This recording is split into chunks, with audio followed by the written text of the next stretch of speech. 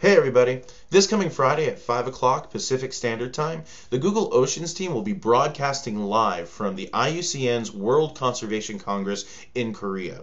The Google Oceans team will be joined by various guests, including Dr. Sylvia Earle, and they will be showcasing their liquid galaxies, which is an immersive, interactive way to experience the Google Earth engine and Google Oceans.